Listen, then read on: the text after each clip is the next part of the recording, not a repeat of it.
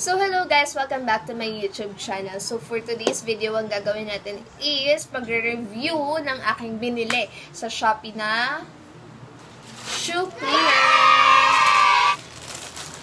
No, so, pampaputi daw to ng sapatos. So, titingnan natin kung effective ba siya or not. So, ito na siya. So, ito ay black cream, natural creams, auto brilliant, polish white. So, sabi dito, shoe polish natural waxes shine without rubbing. The new formula more creamy black with natural waxes polishes and takes care of your shoes and leather, giving them a superior shine without rubbing. So, sabi dito, shake before using. So, simulan natin, uh, simulan na natin guys, if effective siya. So, ito nga pala yung shoes ko.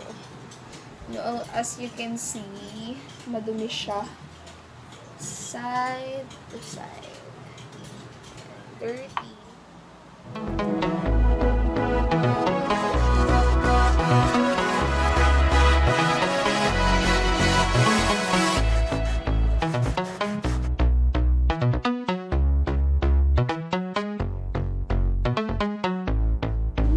Yun.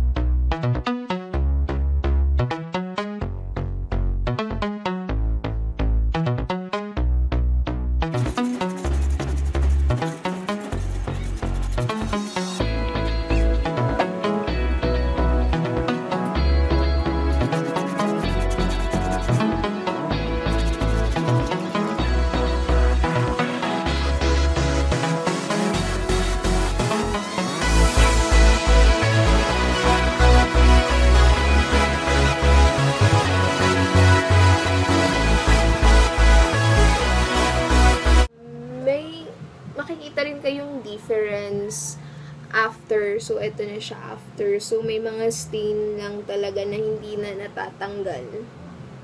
Pero, ayan na yung kinalabasan niya.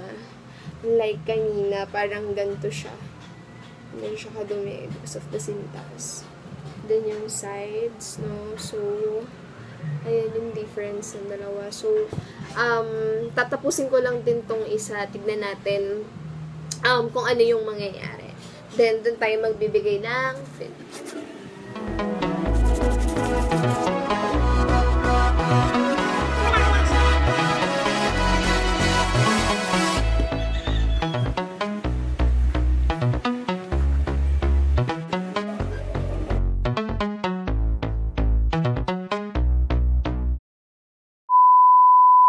So, ayan, lumipat muna tayo ng place kasi maingay po sa baba. So, ayun. So, it's time uh, para magbigay tayo ng feedback. No? So, usually po kasi kapag tayo ay naglilinis ng sapatos, ginagamitan natin ng used toothbrush or yung brush na malaki, then water, and soap. Ang nangyayari kapag ganun yung ginagawa natin, buong sapatos nababasa, pati yung loob. So, ang kailangan natin gawin, papaarawan natin, maghintay ng ilang araw, parang 1 to 3 days, ba? Parang gusto mo nang gamitin yung sapatos pero basa pa, ganyan. So, unlike na to, mas pinadali niya yung pamamaraan ng paglilinis ng sapatos. Kasi, um, feeling ko, yung laman niya, uh, water lang, na may soap, ganun. Kasi kung nakita nyo kanina sa video, no, na habang ni-scrub ko siya doon sa, sa shoes, nagbubula siya. Tapos, ito yung brush. Ayan yung brush. Then, Ma!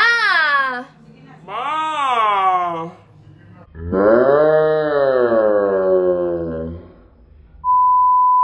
No, tapos ang maganda dito, meron na siyang brush, then may foam. So, ayan yung, siya yung pinaka naglilinis talaga nung, nung sapatos. Siya yung pinaka nagtatanggal ng mga stains, no.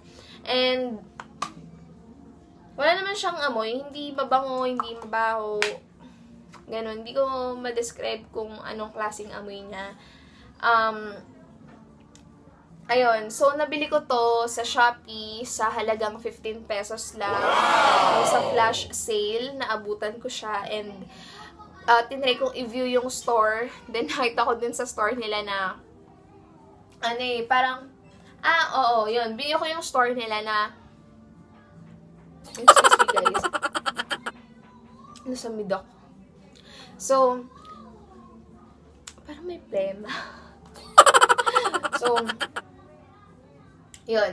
Um, nabili ko yung store nila, tapos, um, nakita ko na kapag naka-worth 100 pesos ka, free shipping fee siya. So, bumili na rin ako ng face mask or kung anong, ano-anong anek-anek, ganyan, no, sa, pero, saktong 100 like, lang, guys, hindi po ako, mahilig talaga mag-shopping. Hindi ako mahilig mag-add to cart. Hindi ko po guys yan. Never, never. Hindi ako yan.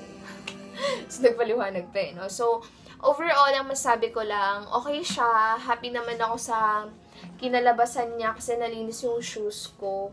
No, siguro regular ko na lang siyang lilinisin kapag talagang madumi na. Kasi yung ibang stain talaga, ayaw niya na talagang matanggal.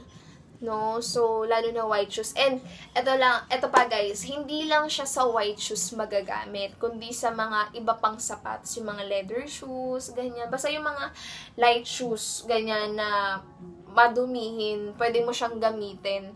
Even may nakita rin ako na pati sa bag, ginagamit din niya. Kasi di ba usually mga leather bag natin, parang dapat hindi naman talaga nilalaban pwede din natin siyang gamitin sa mga leather na bag, guys, para safe. Tapos, basahan lang. Then, pero sobrang nasatisfied ako dito, guys. So, ayun, sana, kasi na, napadali niya yung buhay wow. ko. So, ayun, um, don't forget to subscribe sa mga hindi pa nakaka-subscribe and uh, i-ring nyo yung bell below para kapag upload pa ng uh, mga videos na mag-notify sa inyo. And don't forget to like.